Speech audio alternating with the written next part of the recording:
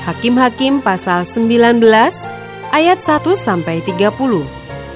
Perbuatan noda di Gibea. Terjadilah pada zaman itu ketika tidak ada raja di Israel bahwa di balik pegunungan Efraim ada seorang Lewi tinggal sebagai pendatang. Ia mengambil seorang gundik dari Bethlehem Yehuda. Tetapi gundiknya itu berlaku serong terhadap dia dan pergi daripadanya ke rumah ayahnya di Bethlehem Yehuda. Lalu tinggal di sana empat bulan lamanya. Berkemaslah suaminya itu, lalu pergi menyusul perempuan itu untuk membujuk dia dan membawanya kembali. Bersama-sama dia bujangnya dan sepasang keledai. Ketika perempuan muda itu membawa dia masuk ke rumah ayahnya, dan ketika ayah itu melihat dia, maka bersukacitalah ia mendapatkannya. Mertuanya, ayah perempuan muda itu, tidak membiarkan dia pergi, sehingga ia tinggal tiga hari lamanya pada ayah itu. Mereka makan, minum, dan bermalam di sana. Tetapi pada hari yang keempat, ketika mereka bangun pagi-pagi dan ketika orang Lewi itu berkemas untuk pergi, berkatalah ayah perempuan muda itu kepada menantunya, Segarkanlah dirimu dahulu dengan sekerat roti, kemudian bolehlah kamu pergi. Jadi duduklah mereka, lalu makan dan minumlah keduanya bersama-sama. Kata ayah perempuan muda itu kepada laki-laki itu, baiklah putuskan untuk tinggal bermalam dan biarlah hatimu gembira. Tetapi ketika orang itu bangun untuk pergi juga, mertuanya itu mendesaknya, sehingga ia tinggal pula di sana bermalam. Pada hari yang kelima ketika ia bangun pagi-pagi untuk pergi, berkatalah ayah perempuan muda itu, Mari, segarkanlah dirimu dahulu, dan tinggallah sebentar lagi, sampai matahari surut. Lalu makanlah mereka keduanya. Ketika orang itu bangun untuk pergi, bersama dengan gundiknya dan bujangnya, berkatalah mertuanya, ayah perempuan muda itu, kepadanya, Lihatlah, matahari telah mulai turun menjelang petang. Baiklah tinggal bermalam. Lihat, matahari hampir terbenam. Tinggallah di sini bermalam dan biarlah hatimu gembira. Maka besok kamu dapat bangun pagi-pagi untuk berjalan dan pulang ke rumahmu.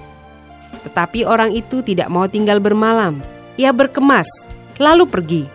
Demikian sampailah ia di daerah yang berhadapan dengan Yebus. Itulah Yerusalem. Bersama-sama dengan dia ada sepasang keledai yang berpelana dan gundiknya juga.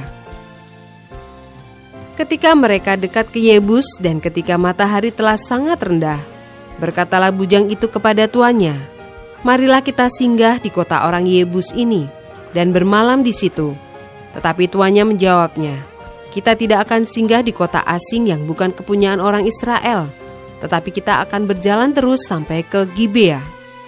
Lagi katanya kepada bujangnya, marilah kita berjalan sampai ke salah satu tempat yang di sana dan bermalam di Gibea atau di Rama. Lalu berjalanlah mereka melanjutkan perjalanannya, dan matahari terbenam ketika mereka dekat Gibea kepunyaan suku Benyamin. Sebab itu singgahlah mereka di Gibea. Lalu masuk untuk bermalam di situ, dan setelah sampai, duduklah mereka di tanah lapang kota. Tetapi tidak ada seorang pun yang mengajak mereka ke rumah untuk bermalam. Tetapi datanglah pada malam itu seorang tua yang pulang dari pekerjaannya di ladang. Orang itu berasal dari pegunungan Efraim dan tinggal di Gibea sebagai pendatang. Tetapi penduduk tempat itu adalah orang Benyamin. Ketika ia mengangkat mukanya dan melihat orang yang dalam perjalanan itu di tanah lapang kota, berkatalah orang tua itu, Ke manakah engkau pergi dan dari manakah engkau datang? Jawabnya kepadanya, Kami sedang dalam perjalanan dari Bethlehem Yehuda ke balik pegunungan Efraim. Dari sanalah aku berasal. Aku tadinya pergi ke Bethlehem Yehuda dan sekarang sedang berjalan pulang ke rumah. Tetapi tidak ada orang yang mengajak aku ke rumahnya.' Walaupun ada padaku jerami dan makanan untuk keledai kami, pula roti dan anggur untuk aku sendiri. Untuk hambamu perempuan ini dan untuk bujang yang bersama-sama dengan hambamu ini, kami tidak kekurangan sesuatu.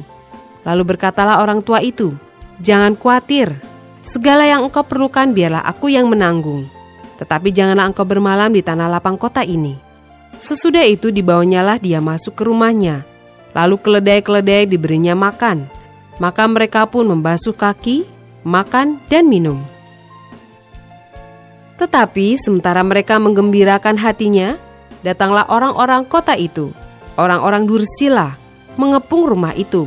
Mereka menggedor-gedor pintu sambil berkata kepada orang tua pemilik rumah itu, Bawalah keluar orang yang datang ke rumahmu itu, supaya kami pakai dia. Lalu keluarlah pemilik rumah itu menemui mereka dan berkata kepada mereka, Tidak saudara-saudaraku, janganlah kiranya berbuat jahat, karena orang ini telah masuk ke rumahku, janganlah kamu berbuat noda. Tetapi ada anakku perempuan yang masih perawan dan juga gundik orang itu. Baiklah kubawa keduanya keluar. Perkosalah mereka dan perbuatlah dengan mereka apa yang kamu pandang baik. Tetapi terhadap orang ini janganlah kamu berbuat noda. Tetapi orang-orang itu tidak mau mendengarkan perkataannya. Lalu orang Lewi itu menangkap gundiknya dan membawanya kepada mereka keluar. Kemudian mereka bersetubuh dengan perempuan itu, dan semalam-malaman itu mereka mempermainkannya sampai pagi. Barulah pada waktu fajar menyingsing, mereka melepaskan perempuan itu.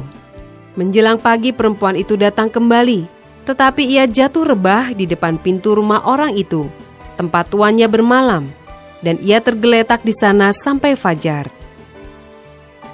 Pada waktu tuannya bangun pagi-pagi, dibukanya pintu rumah dan pergi keluar untuk melanjutkan perjalanannya. Tetapi tampaklah perempuan itu, gundiknya, tergeletak di depan pintu rumah dengan tangannya pada ambang pintu. Berkatalah ia kepada perempuan itu, "Bangunlah, marilah kita pergi." Tetapi tidak ada jawabnya. Lalu diangkatnyalah mayat itu ke atas keledai. Berkemaslah ia, kemudian pergi ke tempat kediamannya. Sesampai di rumah, diambilnyalah pisau Dipegangnyalah mayat gundiknya.